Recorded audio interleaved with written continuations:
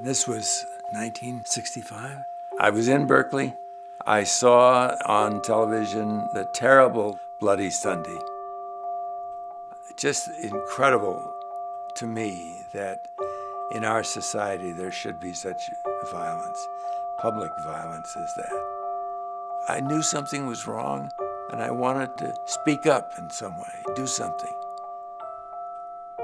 The next morning, I heard on the radio Martin Luther King asking clergy to come to Selma the next day.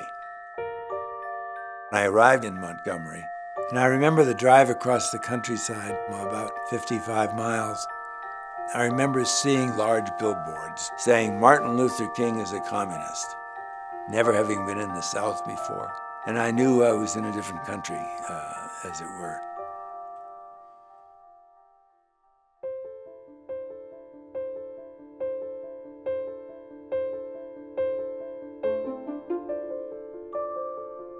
I looked around saw Jim and Orloff, and we decided, the three of us, that we would try to have dinner together. They had arrived earlier in town, so they had an orientation about how to behave, nonviolent. If someone attacks you, don't attack back.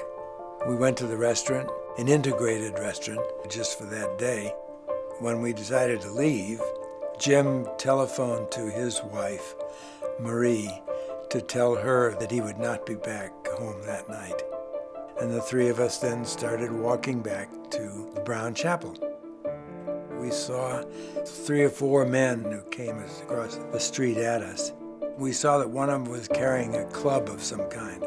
We whispered to each other, just keep walking. They were right behind us, and I turned and looked at them, and I saw one of them uh, the one next to Jim, right behind Jim Reeb, swing a club, just bang, hitting Jim on the side of his head. Orloff fell to the ground in that prayer for protection position, and I, I ran.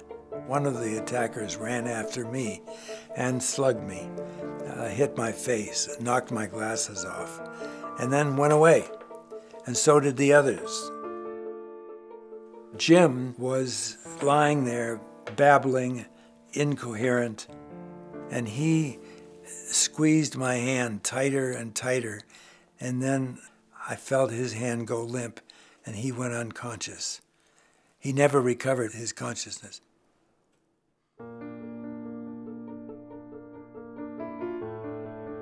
I began to realize that we were the center of attention that this was a big event. The next morning, they, they brought us back to the hospital. And immediately I noticed there were yellow roses there that had been sent by President and Mrs. Johnson. Thousands of people gathered in various cities Washington, Chicago, New York, Boston, San Francisco. Uh, it was headlines all across the country about the attack on this white clergy. But the whole voting rights march, that is the march from Selma to Montgomery, was originally organized to honor Jimmie Lee Jackson, a young black man who had been killed by a state trooper. But there wasn't much attention paid to Jimmie Lee Jackson by the broader American public, nor by the president. I learned years later that in reference to Jimmie Lee Jackson's death, President Johnson had not one telephone call. He didn't initiate one, didn't receive one. In reference to the attack on Jim Reeb and his death and so on, Johnson had 57 phone calls. This minister's going to die, isn't he? Yes, sir. What time do you think he'll die? They tell me that he could stay alive uh, for another uh, 24 or 36 hours. 57 phone calls. It has struck me that that's an extraordinary number, no matter what the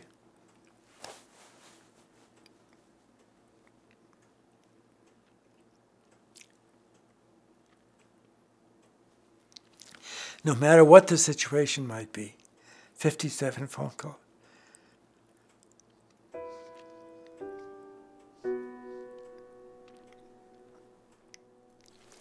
I believe that Johnson was moved by the attack on us and by Jim Reeb's death.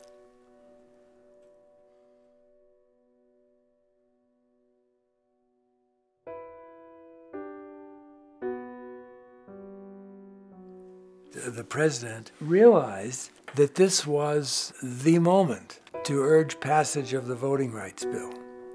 And in his speech, he said something to the effect that there are times in history that are special moments in man's unending quest for justice and freedom. So it was last week in Selma, Alabama. There, long suffering men and women peacefully protested the denial of their rights as Americans. Many were brutally assaulted. One good man, a man of God, was killed. So he made specific reference to Jim Reeb, whose hand I'd held when he went unconscious. Really, it's all of us who must overcome the crippling legacy of bigotry and injustice. And we shall overcome.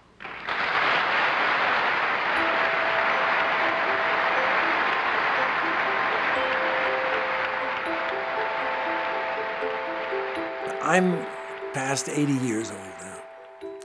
This happened to me when I was 33 years old. The gift to me in my later years, and having been part of this, it's an enormous gift to me. Part of, not all, but part of the meaning of my life